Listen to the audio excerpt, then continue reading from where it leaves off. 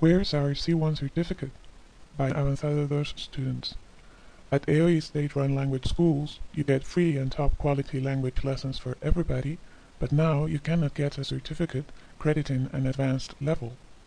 Avanzado Dos, a B2, stands for an upper intermediate level. We've got the schools, we've got the teachers, we've got the students. Where are our certificates? Today we are going to record the dramatized uh, play of uh, Friends, text script of episode 1, season 1. And the title is The One Where Monica Gets a New Roommate. But first, I'm playing Monica. I'm playing Ross. I'm playing Phoebe. I'm playing Joey. I'm playing Chandler. And I'm playing Rachel. Okay. There's nothing to tell. He's just some guy I work with. Come on, you are going out with that with the guy. There's gotta be something wrong with him. Alright, Joy, be nice. So, does he have a hand? A hand and an earpiece? Um, wait, does he eat chalk? Just cause I don't want her to go through what I went through with Carl. Okay, everybody relax. This is not even a date. It's just two people going out to dinner and not having sex. Sounds like a date to me. Alright, so I'm back in high school. I'm standing in the middle of the cafeteria and I realize I'm totally naked. Oh yeah, Had that dream. Oh, yeah, Then I look down and I realize there's a phone there. Eh, Instead of, That's right. never had that dream. No, no, no. All of a sudden the phone starts to ring. Now I don't know what to do. Everybody starts looking at me. And they weren't looking at you before? Finally, I figure I'd better answer it. And it turns out it's my mother, which is very, very weird because she never calls me. Hi! This guy says hello, I wanna kill myself. Are you okay, sweetie? I just feel like someone reached down my throat, grabbed my small intestine, pulled it out of my mouth, and tied it around my neck. Cookie? Carol moved is stuff out today. Oh, Uh, let me get you some coffee. Thanks. Hey, no, no, no, stop. Stop kissing my aura. Fine. No, let's leave my aura alone, okay? Okay, be Marky. Ah, I will be, I'll be fine, alright, really.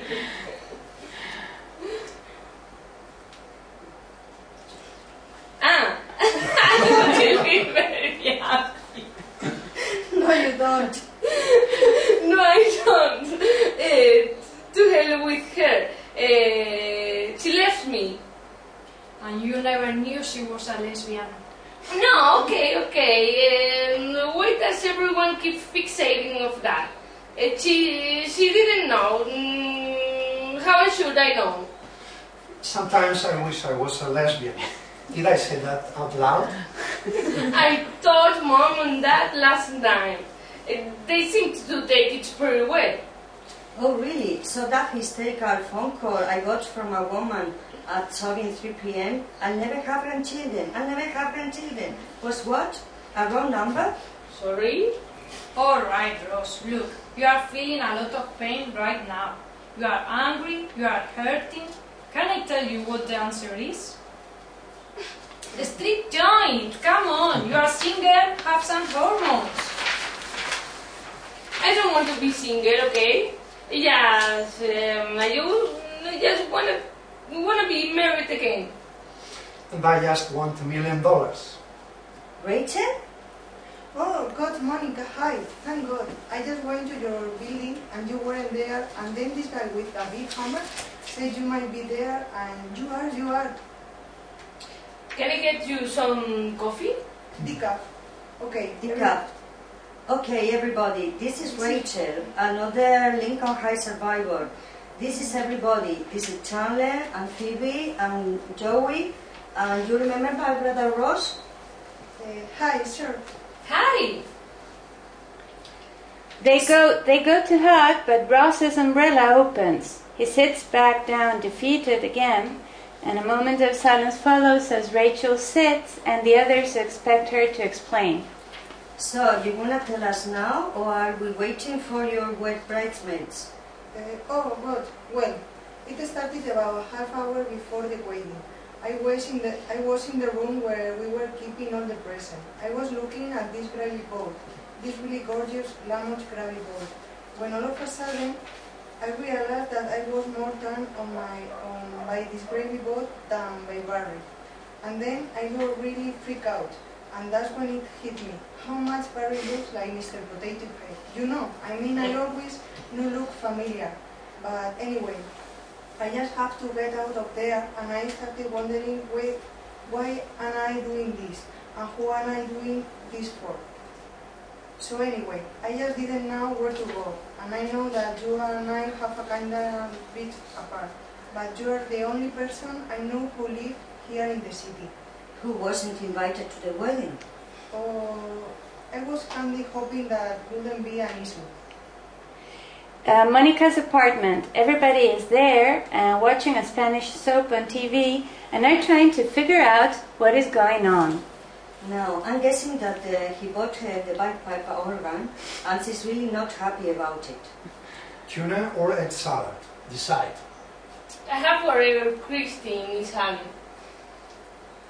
Daddy, I just I can't marry him. I'm sorry. I just don't I just don't love him. Well, it matters to me. The scene on TV has changed to show two women. One is holding her hair. If I let go of my hair, my hair will fall off. Oh, she should not be wearing those pants. I say push her down the stairs. Push her down the stairs! Push her down the stairs! Push her down, Down the the stairs. Stairs. She is pushed down the stairs, and everybody cheers. Come on, Daddy, listen to me. It's like it's like all my life everybody, everyone has always told me, You're a soup, you're a soup, you're a soup, you're a soup. And today I stop and I say, What if I don't wanna be a soup? What what if I wanna be a purse, you know, or or a hat? No, I'm not saying I want you to buy me a hat. I say I'm a, it's a metaphor, Daddy. You can see where he'd have he'd have traveled. Look, Daddy, it's my life. Well, maybe I just stay here with Monica. Well, I guess we've established who's staying here with Monica. Well, maybe. That's my decision. Well, maybe I don't need your money. Wait, wait. I say maybe. Uh, time lapse. Rachel is breathing into a paper bag. Just breathe, breathe, that's it. Just try to think of nice calm things. Yes, and raindrops and roses and rabbits and kittens.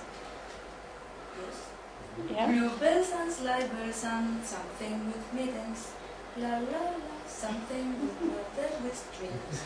These are a few of my Uh, I'm, I'm better now. Oh, yes. so, I helped. Okay, look, this is probably for the best, you know, independence, taking control of your life, the whole heart thing. And hey, you need anything, you can always come to Joey. Me and Chandler live, live across the hall, and he's always good. Joey, stop hitting her. It's her wedding day. What? Like there's a rule or something?